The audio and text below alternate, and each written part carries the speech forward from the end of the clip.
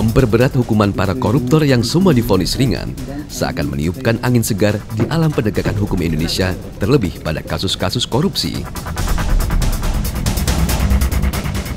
Tak hanya koruptor, bandar dan pengedar narkoba pun dibuatnya kecut dengan hukuman yang jauh lebih berat.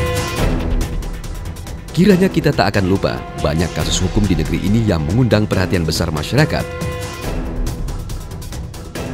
mulai dari kasus penembakan misterius di Orde Baru hingga kasus insiden Dili. Dari kasus mantan Presiden Soeharto yang tak kunjung selesai hingga akhir hayat sang presiden, sampai kasus nenek Rusmina yang dituduh mencuri piring.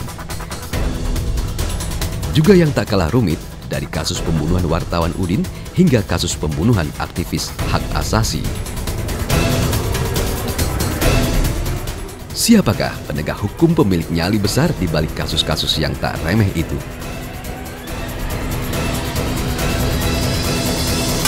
Integritas tak terbeli, keadilan tak bisa dinegosiasi, dan kebenaran harus ditegakkan. Di balik jubah hitam seorang hakim agung, tersimpan keteguhan dan ketegasan yang telah mengguncang dunia hukum Indonesia. Nama Artijo Alkostar dikenal sebagai simbol perlawanan terhadap korupsi dan keberanian menegakkan keadilan. Dengan keberaniannya dalam memberikan vonis tegas dan tanpa kompromi terhadap pelaku korupsi, Artijo tak hanya menjadi legenda di Mahkamah Agung, tetapi juga sosok yang dihormati dan ditakuti oleh para koruptor. Artijo Alkostar lahir di Situbondo, Jawa Timur pada 22 Mei 1948. Ia merupakan salah satu hakim paling berpengaruh di Indonesia. Beliau merupakan lulusan Fakultas Hukum Universitas Islam Indonesia, Yogyakarta, memulai karirnya sebagai advokat. Namun semangatnya untuk memperjuangkan keadilan mengantarkan dia ke kursi Hakim Agung di Mahkamah Agung pada tahun 2000. Selama menjabat, Artijo dikenal karena ketegasannya dalam menangani kasus-kasus besar, terutama kasus korupsi. Fonis-fonisnya sering kali memperberat hukuman para terdakwa korupsi, memberikan pesan kuat bahwa hukum harus ditegakkan tanpa pandang bulu. Beberapa kasus besar, seperti vonis tegas terhadap tokoh politik terkenal, memperkuat reputasinya sebagai hakim tanpa kompromi.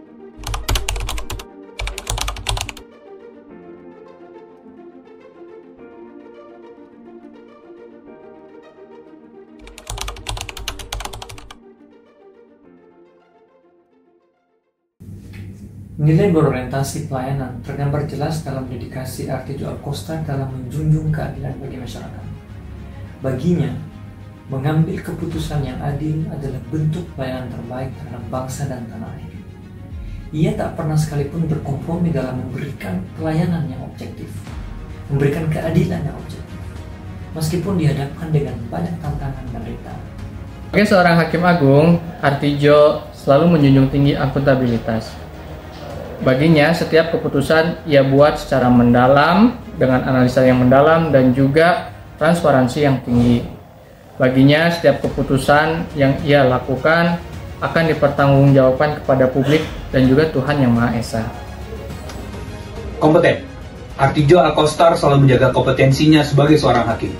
Meskipun ia sudah menduduki posisi tertinggi, ia tidak pernah berhenti belajar dan memperbarui pemahamannya tentang hukum karena ia meyakini bahwa kompetensi itu ialah kunci agar keadilan itu bisa ditegakkan secara benar dan berimbang. Meskipun dikenal tegas, Artijo tetap memelihara hubungan yang harmonis dengan rekan sejawat dan bawahan. Ia percaya bahwa keberhasilan dalam menegakkan hukum harus dilakukan dengan kerjasama dan dialog yang baik di dalam institusi peradilan. Nilai loyalitas Artijo terhadap negara dan hukum tidak pernah diragukan. Sebagai seorang hakim, ia berkomitmen penuh pada integritas hukum Indonesia dan setia pada konstitusi serta prinsip-prinsip keadilan yang ia yakini sebagai fondasi negara.